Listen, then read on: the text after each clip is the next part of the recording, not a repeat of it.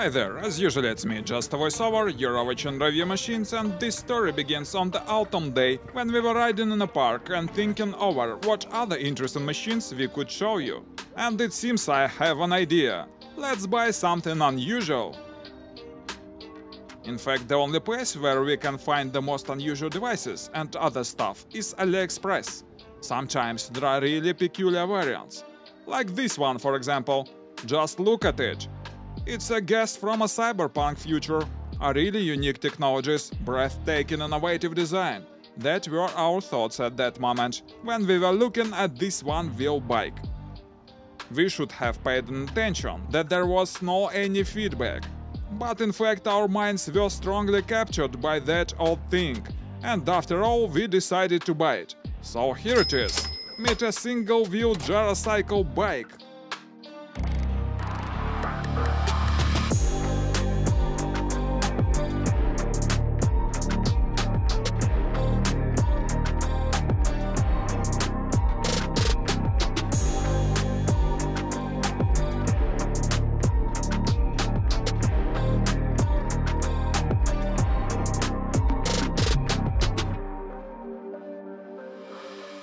The delivery took us several months, and finally we've got it! The cyberpunk future is already here.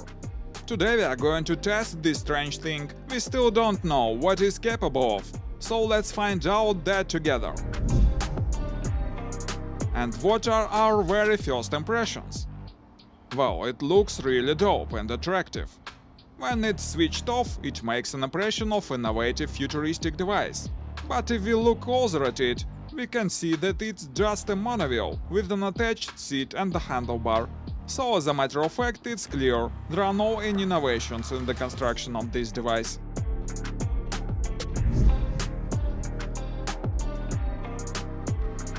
The handlebar is just a fixed handle, without any steering functions, so we will figure out later how to make maneuvers.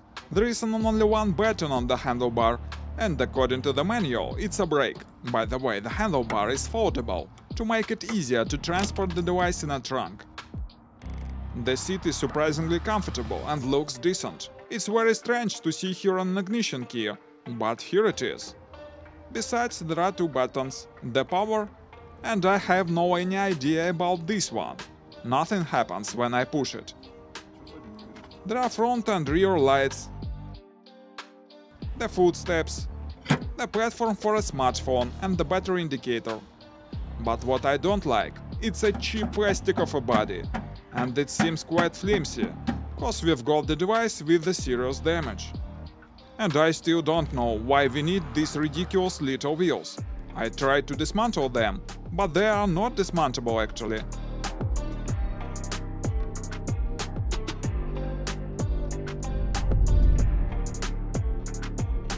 For all that, I strain at the leash to switch on the thing and try it. Let's press a button and have a ride.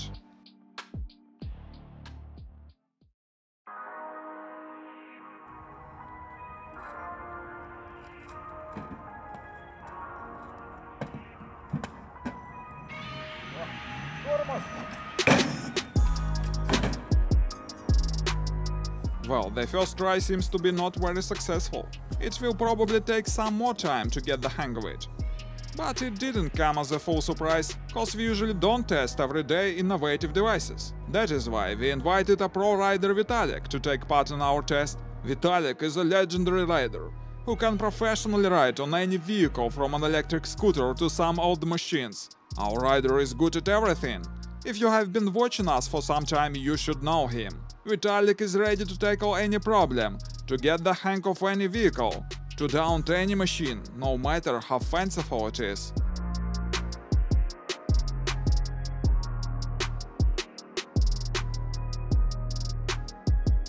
But this time we have a special event. As you might have already known, we are testing the futuristic device. That is why we should equip our rider properly. Узри меня!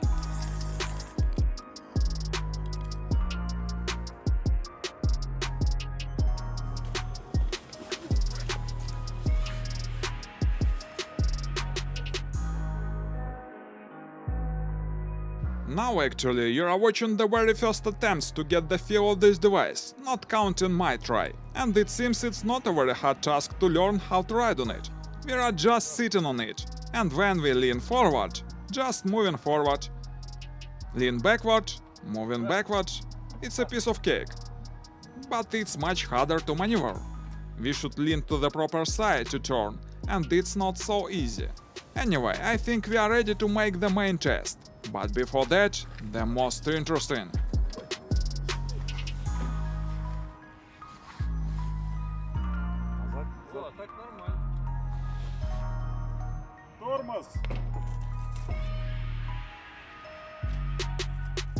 Now let's check the key feature of this device.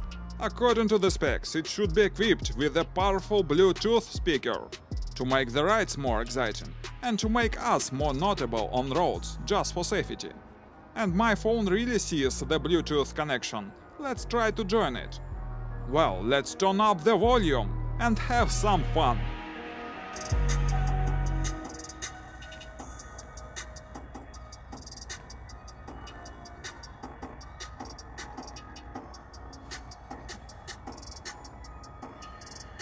Frankly speaking, it's not what I expected.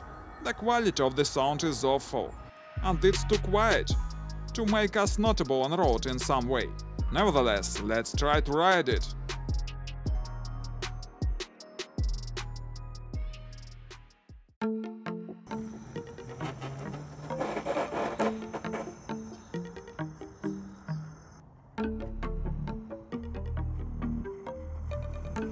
Well, as to the riding, again, I expected much more fun. But at least it works. Leaning forward and it speeds up. Leaning backward and it slows down. The maneuvering is harder, but I think it's a matter of practice. But definitely, this thing is not able to provide some fun and extreme riding. It's rather boring. Boring, but as it turned out, quite unstable.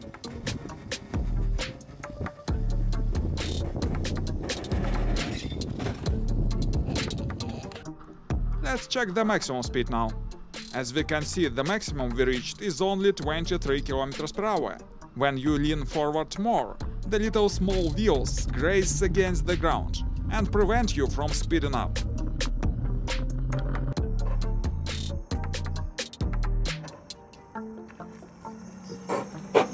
As to the brake, we can slow down by leaning backward, but it's not a fast stop. So there is a button on the handlebar. When we push it, the device leans backward automatically and stops much faster. Well, as I said, our first impressions are not very exciting. Let's try to disassemble it slightly to see what's inside.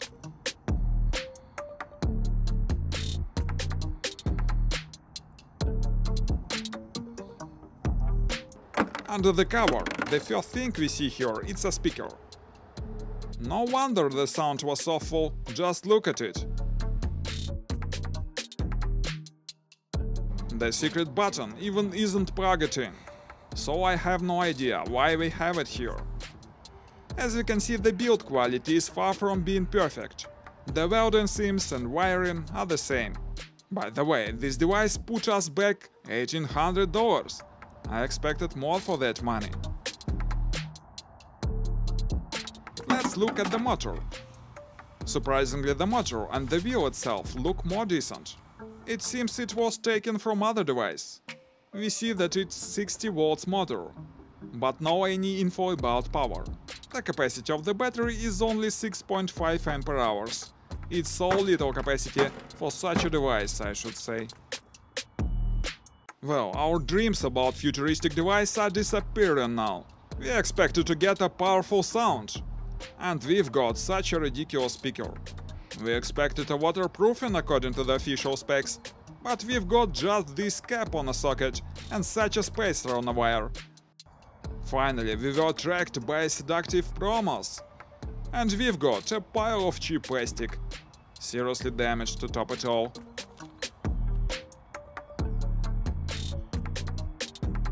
Well, you probably have heard enough of my complaints. Finally it works. Let's try to improve this thing in some way. As I said, we noticed the front wheel prevents us from moving faster. So let's do it in this way. We've just bent them. What a genius engineering solution, isn't it?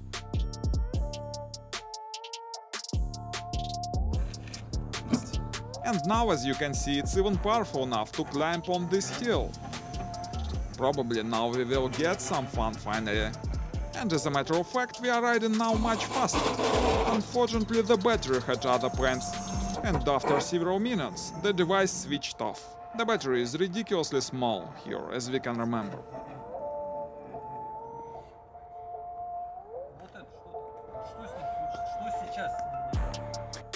And now let's sum it up. Probably it's the strangest device in our practice. It's rather costly, the price is about $1800. But the capabilities of the device leave much to be desired, not to mention build quality and cheap materials. Frankly speaking, I have no idea who may need such a device. Maybe you know, guys, please post your comments what you think of this stuff. That's all today. Please consider subscribing the channel if you like this video. Stay with us, there will be many more interesting materials here. Goodbye.